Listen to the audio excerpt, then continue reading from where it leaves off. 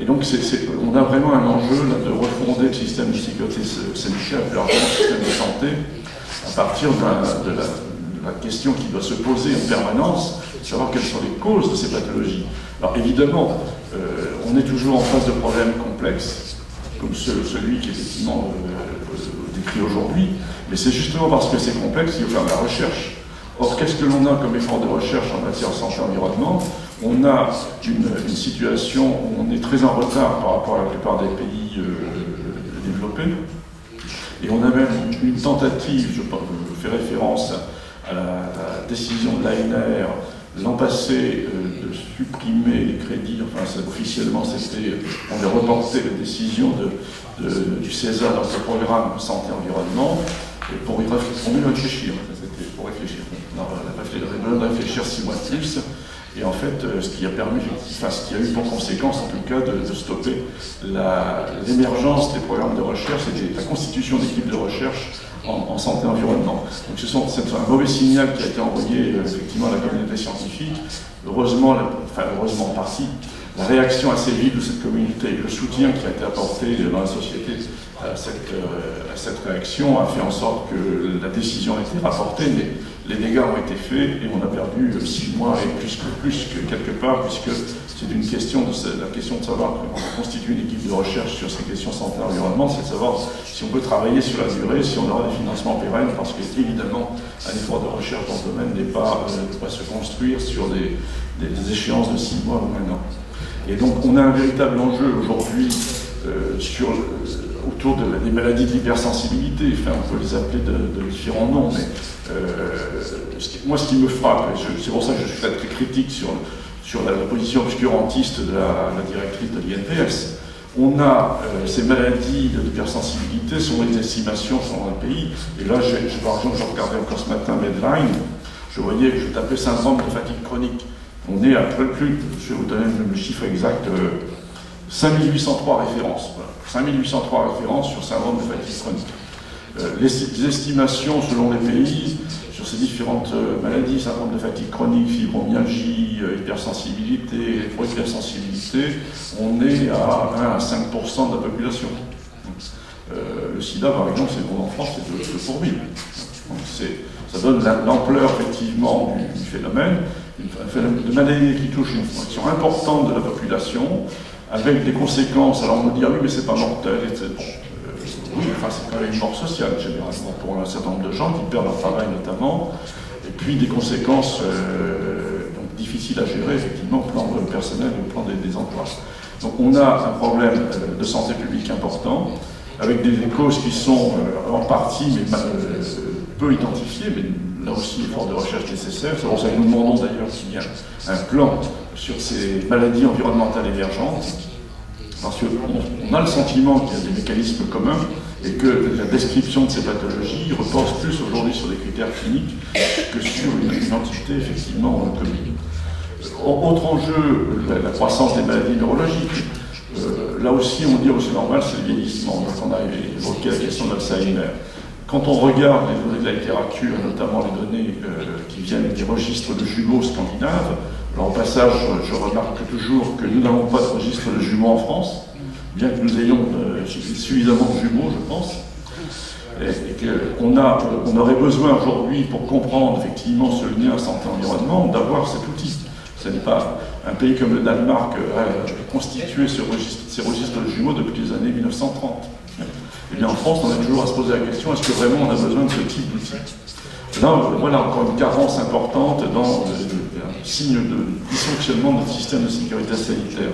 Bien, les données, effectivement, euh, on est obligé de se référer aux données des pays scandinaves qui nous disent, effectivement, pour l'Alzheimer, on est à 50% de causes environnementales.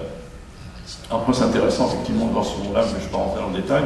Mais en tout cas, on a là un véritable enjeu de santé publique sur la croissance de ces pathologies, donc sur la compréhension de, l'origine de ces pathologies qui est, euh, tout sauf un, événement normal, euh, qui serait euh, simplement la conséquence tout à fait du, vieillissement, comme si on ne pouvait rien y faire, puisque le vieillissement, on ne peut rien y faire. Et puis, il y a un jeu autour de, l'aluminium, et puis largement des, par les métaux, c'est effectivement un enjeu sur les causes effectivement de l'exposition de la population. Alors là, on parle des vaccins, il y a d'autres sources, la source notamment tout l'enjeu autour du traitement de l'eau. Et là aussi, la pression qui a été faite sur les équipes de l'INSERM qui avaient publié sur le sujet, sur le lien Alzheimer et, le traitement de, l'eau par le, procédé à l'aluminium, on voit bien effectivement, on, voit bien la même démarche derrière pour essayer de, faire, de faire taire finalement ceux qui remettent en cause effectivement la, façon classique de penser les choses, c'est-à-dire de ne pas se préoccuper du lien entre santé et environnement.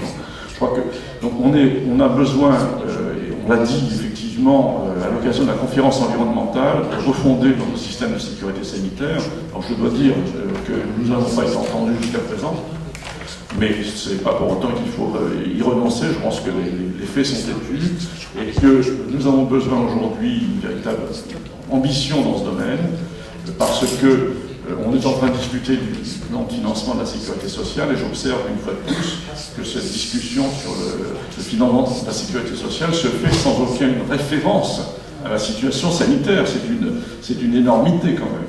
De pouvoir discuter budget finalement de la santé sans se poser la question de savoir d'où viennent les dépenses, pourquoi la dépense augmente. C'est la croissance des maladies chroniques qui, je, je le rappelle, représente 83% des dépenses de santé, 83%. Les affections de longue durée représentent 62%, avec une progression de 3 à 4% par an. Donc on est dans un phénomène, effectivement, on est dans le mur. il faut s'interroger pourquoi, effectivement, on est arrivé dans le mur. Eh bien, ce questionnement n'a pas lieu parce qu'effectivement, dans les ministères, dans les administrations, eh bien, on est formaté avec une façon euh, classique, très ancienne, je dirais même archaïque aujourd'hui, euh, de poser des problèmes de santé. C'est ça qu'il faut aujourd'hui réussir. Alors, d'où le soutien effectivement à cette initiative, mais aussi euh, la nécessité de, rassembler toutes les forces qui sont, et elles existent effectivement, qui considèrent que tout ça n'est rien, n'est pas normal. Il faut effectivement aujourd'hui repenser nos systèmes de santé en fonction de, bien évidemment développer et conforter le système de soins, mais évidemment se préoccuper des causes des, maladies. C'est vraiment l'enjeu aujourd'hui, et on a besoin d'un système de sécurité sanitaire qui joue son rôle au lieu de jouer son rôle d'amortisseur et de négation euh, permanente, quasiment permanente. Enfin, l'AFSAP, on a eu l'affaire du Mediator. Euh, je peux dire que sur le, santé environnement, euh, l'affaire du bisphénol, si nous n'avions pas porté cette question, eh et la question des perturbateurs endocriniens, on en serait toujours à dire qu'il n'y a aucun problème effectivement avec cette molécule qui imprègne effectivement 95% euh, de la population, comme l'ensemble des perturbateurs endocriniens d'ailleurs, qu'on voit bien effectivement la nécessité euh, de, changer cette logique-là. Voilà, donc c'est pour ça que nous, soutenons effectivement cette initiative et nous soutenons notamment la, protestation pour, contre ce, blocage des crédits de recherche parce que là on est, on est face à une logique obscurantiste qui n'est pas, euh, pas acceptable. Voilà ce que je peux dire pour compléter ce qui a été dit.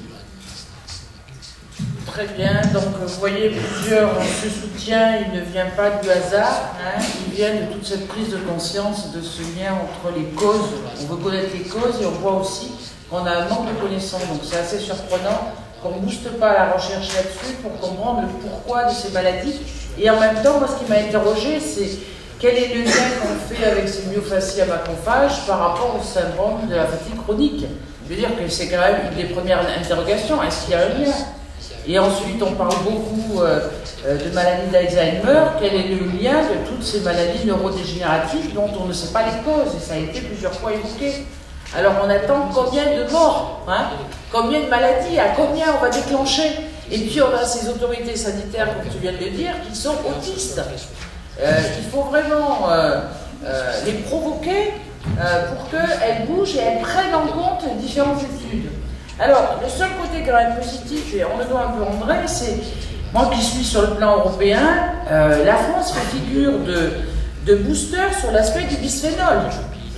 Et euh, en ce moment, moi je suis rapporteur sur les perturbateurs endocriniens et ils disent qu'il y a deux exemples euh, de, pays qui ont bougé, c'est le Danemark et la France. Donc ça montre aussi qu'on a toujours besoin d'une pluralité d'agences. Parce que si on attendait que ce soit l'EFSA sur le plan européen qui bouge, voilà, vous voyez que là, ce sont des agences nationales qui font que ça remet en question un peu le protocole de l'EFSA. Donc vous voyez que cette pluralité fait aussi à ce qu'il y ait une concurrence et une mise en cause de toutes ces agences et de leur fonctionnement. Donc voilà, les questions sont ouvertes.